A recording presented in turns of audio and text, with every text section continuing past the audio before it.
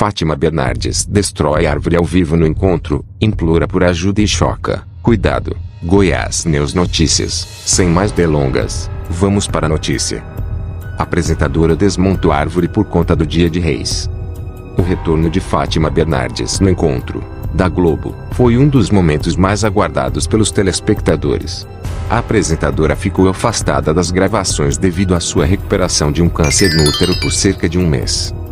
Nesta quarta-feira, 6, a apresentadora iniciou o programa falando sobre o Dia de Reis, que visa a celebração cristã em que os três reis magos visitaram o menino Jesus por conta de seu nascimento. Além disso, a data é famosa por ser o momento de desmontar a árvore de Natal.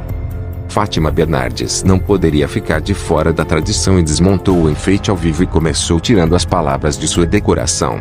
A primeira foi a família. Durante a fala, reportagens antigas sobre parentes começaram a ser transmitidas. Ou você conviveu mais intensamente com a família ou teve uma distância pois não podiam se ver.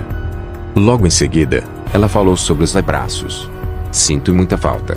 Receber um abraço nos momentos que não passamos juntos, desabafou a apresentadora que mostrou uma mulher abraçando a filha enrolada em um plástico. Só não vai se asfixiar. Cuidado, brincou seu colega de palco. Além disso, Fátima Bernardes falou sobre os profissionais da saúde, das queimadas no Pantanal, casamentos, vacina e outros.